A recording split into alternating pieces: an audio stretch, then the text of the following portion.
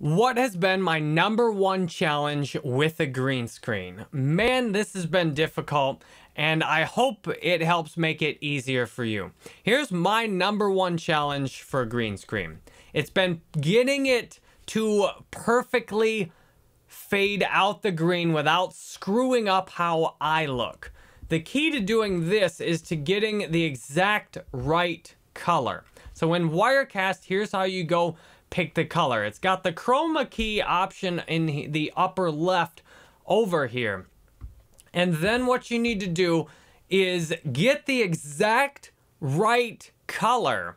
And when you get the exact right green color, it will fade everything out correctly without making it look distorted. For some reason, this, I don't, not, I don't even remember how I picked this. It was just in somehow. This color has worked perfect for me. It's D3 feed. D3 feed. Now this exact color will depend on the lighting you've got. It'll depend on the exact green screen you've got, and it'll depend on the pigment of your skin and potentially the shirt you're wearing and your hair or any makeup or costumes or whatever. For me, this one has worked perfectly, the number D3 feed. Now what you can do to experiment you can pick a color with the mouse. So you can just click pick a color with the mouse and then you can test out different colors to see which one looks the best. Now what's really nice with Wirecast is you can just do this once. You just put the color in there and do it one time and then it's there indefinitely. You don't have to go through and pick a color every time you use the software and then render the video. It's just automatically recorded with the chroma key in. That's why I love Wirecast so much because it just makes this whole process so fast. Every, all I do, I literally hit this record button up here. It records the video. The chroma key's just right. I can move my face around wherever I want. And it just stays like that. Now with each of these, you've got the key threshold here. Meaning you you adjust the key threshold. I don't remember what these are in case I mess them up. So you, you got the key threshold now. You can turn the key threshold up or down. So if you turn the key threshold up a lot, that can impact what it looks like. Now, if you've got your color picked correctly, it shouldn't matter too much. But you see then if you turn the key threshold down to zero, it brings the green screen back. The ideal number you want to get with the key thresholds to put it to the point where it gets the exact right amount of green cut out, but then doesn't distort any. Now this lighting is just working so good, even cranking the key threshold up all the way is not messing it up. But if I pick a different color with it, that'll be a different story. Also, you can use black clip.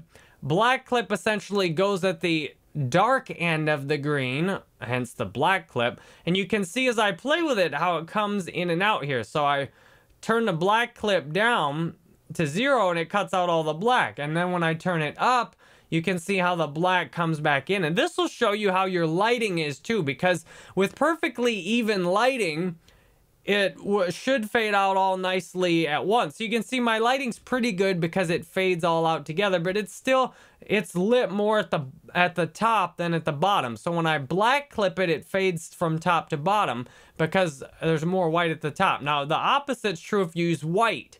So if I use a white clip, you can see it fades from the opposite direction because there's more white at the top of my screen. It's still pretty even though. If you mess with these too much, you'll get distorted effects on your face. You'll get distorted effects on your shirt and it'll look all messed up.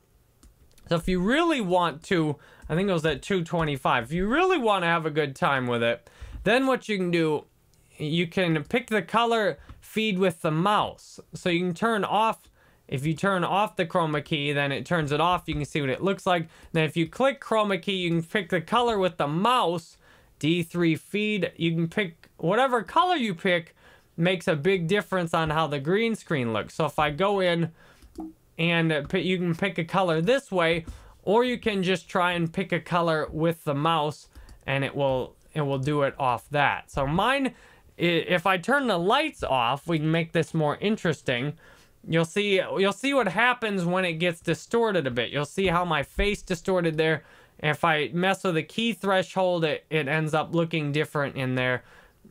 And mess with the black clip, the white clip. You can get it looking all distorted if you do that. And then if you like get the camera adjusts a little bit, the, the, the this can just be a disaster sometimes.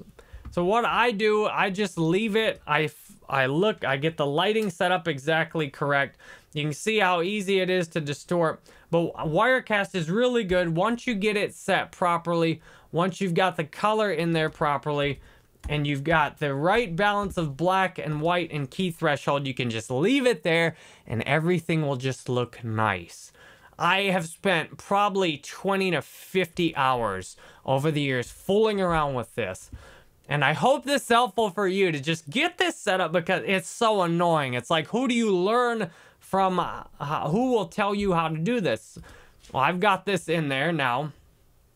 It works and it's all set up right. So if you hit, if you hit defaults, if you mess it up, you can see what happens. So if I pick a different green color, it screws the whole thing up in here. You see that when I hit defaults, it messes that whole color up and then everything's all screwed up from there. You got the, the screen doesn't look right anymore, and then you got to try and go in, pick a different green, and then you try and use that different green, but then that doesn't work very well either. Then you're messing with a key threshold, which this, if you put the key threshold up all the way, works, but it's likely to distort the face if you do that and it's just this is can be such a pain as you can see you know you've got the wrong color if you've got your key threshold at like 13 or something here and it's not doing anything. So if you just play around with the colors, you want to get the color as close as possible to your screen. So one thing you can do,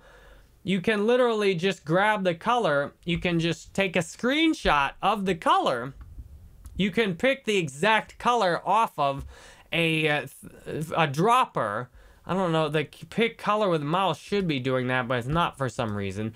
So what you can do, you can pick a dropper off the exact color. You can then use that color and you can see using that color made a big difference. The problem is the color, you, you can see there's green distortion in the background now. There's a little bit of green distortion on this. And then when you've got that little bit of green distortion on it, it doesn't look right. So you got to pick the exact right color. And it, it can take some time to just pick that exact right color. Just try color after color until it, it just looks right. Once you get the right color, it will look right. And then the lighting will be beautiful.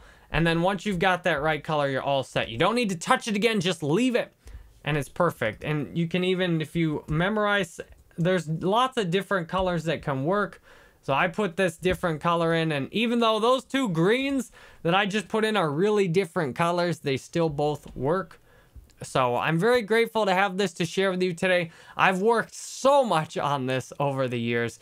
It really can be so easy. You never have to struggle with doing a green screen again. When you get these right, you get the lighting right, you get the screen behind you, get something that's not too wrinkled or or distorted or shadowy, that's a consistent color. You get that right. And then you test it out with different shirts, test it out with different hairdos or whatever. You pick out that exact right color or color from a spectrum. You get the, usually the default key threshold should work good. You use the chroma key and bam, you've got it. You're good. You don't ever have to struggle again with the chroma key.